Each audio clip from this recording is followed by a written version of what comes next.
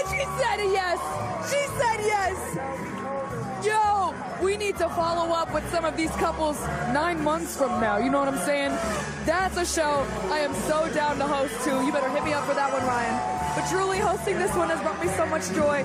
This feels like pure magic. Back over to you, Ryan.